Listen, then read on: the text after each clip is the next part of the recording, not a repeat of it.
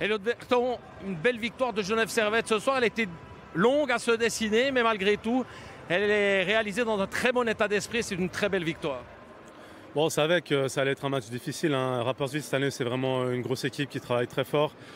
Et euh, voilà, ils sont pas deuxième du classement pour rien, je crois, sauf erreur. Et, euh, et, voilà, on savait que ça allait être un match difficile. On a, bien travaillé. Euh, je crois que ça a été 60 minutes. Vraiment, c'était une, bagarre tout le long du match. Et, voilà, ça s'est bien passé pour nous au final.